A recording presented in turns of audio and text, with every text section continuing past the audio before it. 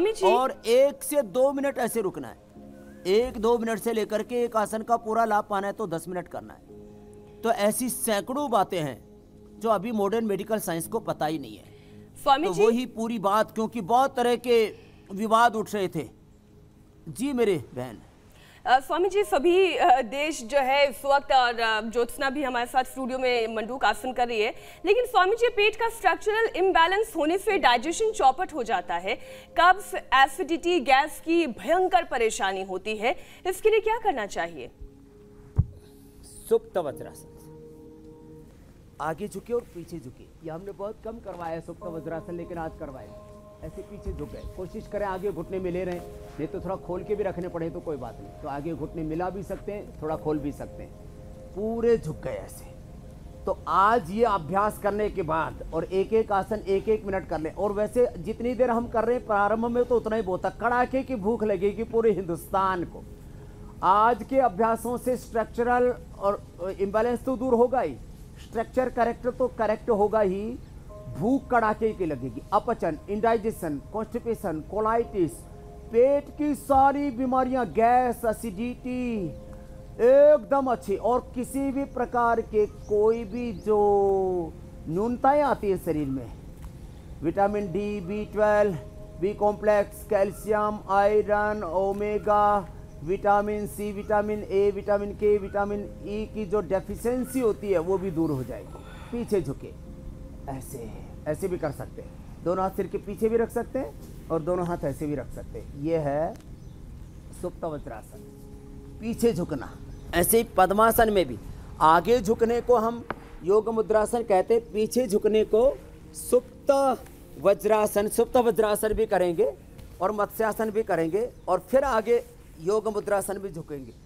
Indigestion के लिए राम बाण है। करते करते अभी आज हमारे साथ में कहता हूँ, अभी नहीं तो कभी नहीं। ये इंस्टेंट बेनिफिट देने वाली साइंस है। योग, आयुर्वेद नेचुरोपैथी पर एक लांछन लगाया गया। और मैं कह रहा था, आज मैंने प्रामाणिकता के साथ फ्रंट पेज पूरा आधा पेज का इंटरव्यू दिया। एक घंटे का इंटरव्यू मैंने दिया। और बात यह नहीं थी कि मुझे कोई इंटरव्यू देने का शौक है। मैं इसमें बहुत कम बोल रहा। हूँ फिर भी जो है दैनिक भास्कर में, दिव्य भास्कर, दिव्य मराठी में मैंने जो इंटरव्यू दिया, उसका मकसद भी यही था कि लोगों तक सच पहुँचे कि योग, आयुर्वेद और नेचुरोपैथी एक बहुत बड़ा विज्ञान है।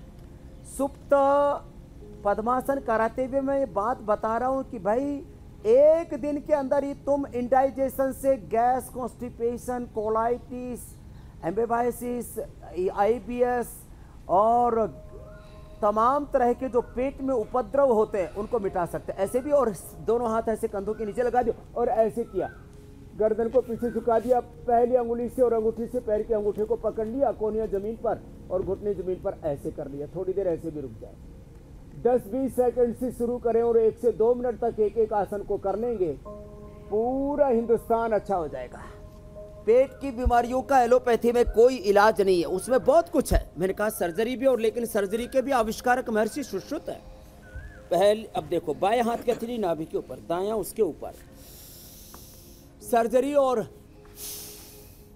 emergency treatment life saving drugs वो एलोपैथी में बहुत प्रगति की है। उसका उपयोग कर लेना। जीवन रक्षा के लिए, जीवन से बड़ी कोई पैथी नहीं और जीवन को बचाने वाली पैथी उससे सिंपैथी होनी चाहिए, लेकिन योग, आयुर्वेद और नेचुरोपैथी जो अपने पूर्वजों का ज्ञान है, उस पर भी हमें स्वाभिमान होना चाहिए और उससे अपना कल्याण होता है भाई ये।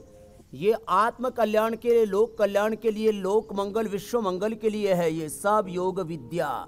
श्वास मार छोड़ के आगे झुक जाए, थोड़ी ज़मीन पर टिकाए और ये अभ्यास ऐसे करते जाए। और जिनको पेट बहुत ही ज़्यादा गड़बड़ा है सुबह उठ करके आंवला एलोवेरा पी लें। आंवला एलोवेरा गिलोय तुलसी नीम ये तो मैं पंचामृत कहता हूँ सबको पी लेना चाहिए थोड़ा थोड़ा और जिनको बहुत ही ज़्यादा एसिडिटी है तो वो एलोवेरा वीटाग्रास और लौकी का जूस पी लें। और जिनको कॉन्स्टिपेशन बहुत भयंकर रहता है तो गोधन अर्क सुबह दो से चार चम्मच पी लें। एसिडिटी हो तो, तो उसमें थोड़ा सा मध मिला करके शायद हनी मिला करके पी लें। और भयंकर से भयंकर चर्म रोग हो कोई डर्मोटोलॉजिस्ट आपको चर्म रोग ठीक नहीं कर सकता चाहे वो जी।